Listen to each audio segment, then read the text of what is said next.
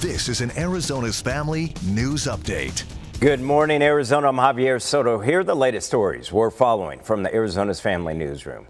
DPS is investigating a crash overnight involving a wrong way driver right about midnight on the Loop 202 near Vee Quiva Way. DPS says a car crashed into a semi. The good news is nobody was hurt. Check this out. A truck plowed through a brick wall and ended up in a backyard pool last night near Van Buren and Estrella Parkway in Goodyear. According to police, at least three vehicles were involved in this crash. At last check, two people were taken to the hospital. A man is in the hospital this morning after being shot and the Maricopa County Sheriff's Office is looking for that gunman. The shooting took place at Priest Drive, just south of Guadalupe.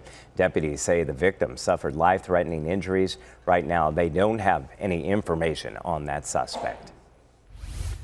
Arizona is prepping for next year's Super Bowl, and right now the city of Phoenix is preparing its workers to watch for signs of human trafficking. Stacy Sutherland, the director of training and resources United to Stop Trafficking, is now training 60% of city employees on ways to spot victims.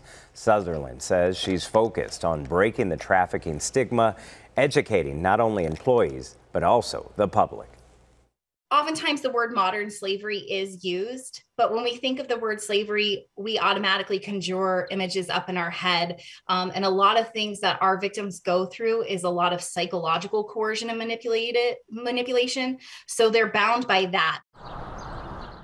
The National Human Trafficking Hotline has received more than 600 calls and tips from Arizona. That was in 2020 alone. All right, plan for a very windy day out there throughout Arizona for today. Uh, we're looking for uh, very gusty conditions. Could see some blowing dust here and there. 78 for our high. Tomorrow could see some rain, about a 30% chance with temperatures crashing down to the 60s. We should be dry for your weekend and then another chance for some rain as we get going into Monday. All right, already feeling it in my allergies. Thank you, Ian. For updates and more stories, all you have to do is download the Arizona Family News app and make sure you subscribe on our YouTube and Roku channels. I'm Javier Soto. Good morning, Arizona.